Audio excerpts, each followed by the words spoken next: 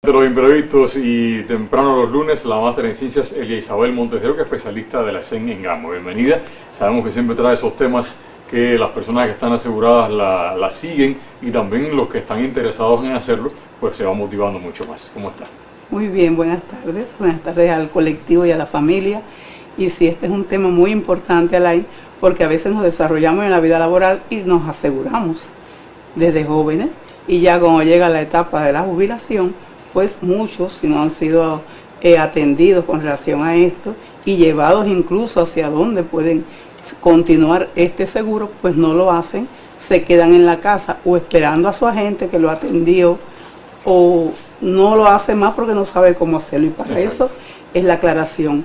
Eh, estas personas deben siempre estar en contacto con el agente antes de irse de la entidad.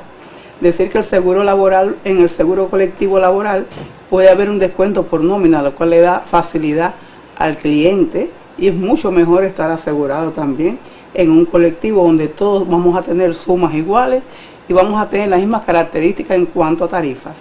Ya una vez que usted se retira de aquí, pues puede hacer este seguro en otro colectivo donde, que le quede afín, digamos, un grupo de ejercicios, un grupo de la cuadra, en el CDR, puede ser también, fuera de las instituciones. Fuera de la institución y continúa con las características del grupo para donde va. Ah, Ahora, si usted va a hacer un seguro en su vivienda porque tiene alguna persona mayor de 18 años, pues se unen y hacen un seguro que también tendría las características de donde él viene.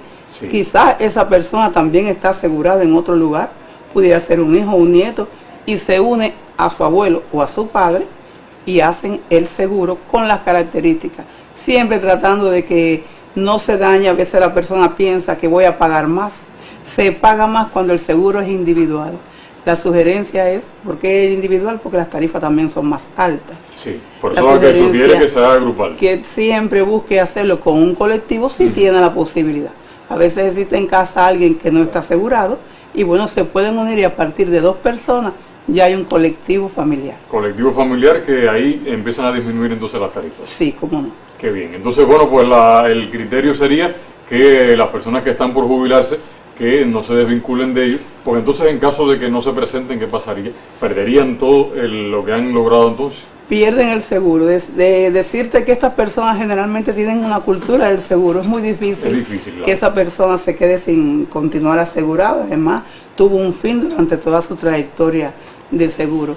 Entonces está preparado para continuar, pero siempre debemos nosotros también como aseguradores llegar enseguida, que no, que no pase tiempo, que no pase un mes, tres meses, donde se puede perder el seguro, como he explicado en otros programas. Y entonces pues tiene que empezar de cero si quiere estar asegurado, y no debe ser. Exacto, es una alerta para, para proteger a esta persona que está asegurada. Bueno, muchísimas gracias Celia, como siempre, por estas precisiones que llegan desde la empresa de seguros nacionales en Granma.